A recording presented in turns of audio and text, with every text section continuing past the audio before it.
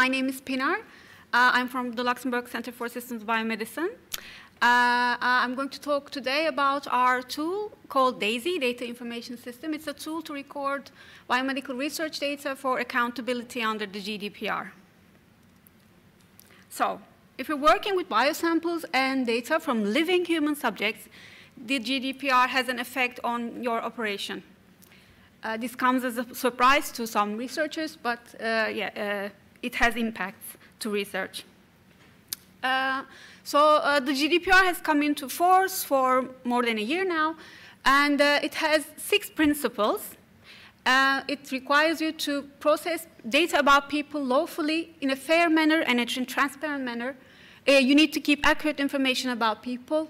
You need to use it only for the purpose you collected um, uh, you need to only keep the data that you need and nothing more. Uh, you can only keep data for a limited amount of time, and you need to secure the data. You need to uh, uh assure confidentiality and integrity. integrity. So we have, uh, so GDPR outlines all these six principles and then says you will be expected to demonstrate that you are compliant with these principles. And this is where our tool supports. So the controller, which is essentially in this case the research PI, uh, is responsible for demonstrating that you are doing this in your work. So what does that mean for a research institution? So when the day for the dreaded GDPR audit comes, uh, you will be, the, the institute will be asked these three questions. What data do you have? What human data do you have? Uh, uh, so for that, you need to know which groups have which data and so on. Um, what is the legal ground for having that data? And there can be different legal grounds. You might be running a cohort, so that's consent-based uh, legal ground, or you may have received the data from a repository, so you have a data use agreement with the repository, or you may have received it from a collaborator, so you have an agreement with that. And you need to answer for how you are protecting the data. So this could be organizational measures or technical. So it, you can encrypt the files, you can do pseudonymization, or you can do trainings, you can have a code of conduct for your admins, but you need to show to the auditor that you're doing all this.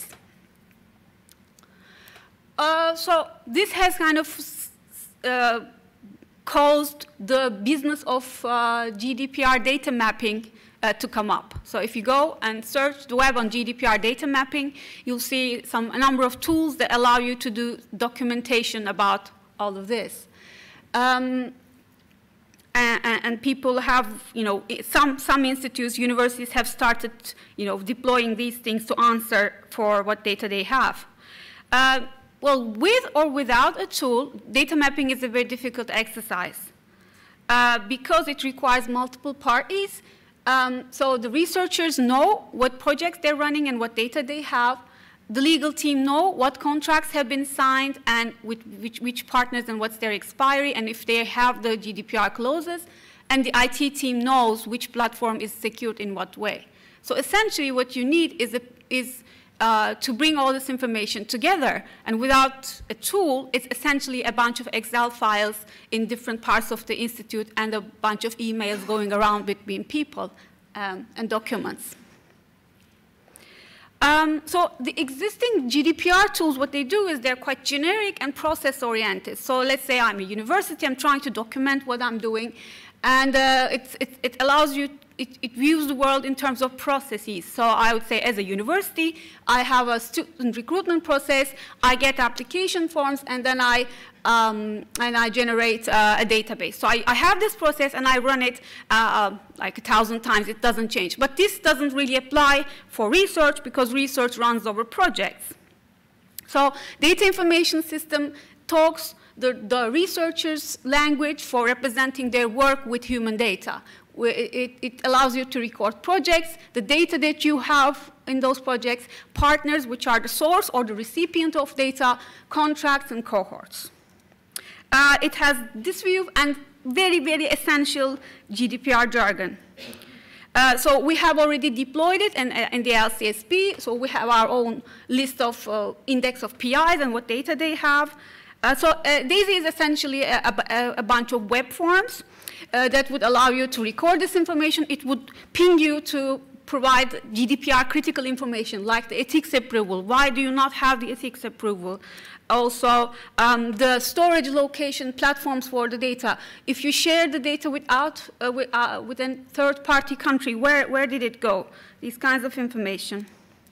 Also, it tracks uh, storage end dates and use restrictions using GA4GH codes.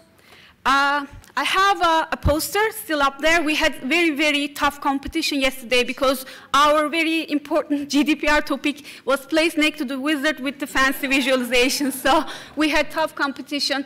Uh, the, source, uh, the, the, the, source code has been put up three months ago, and we're now acting, actively working for a release.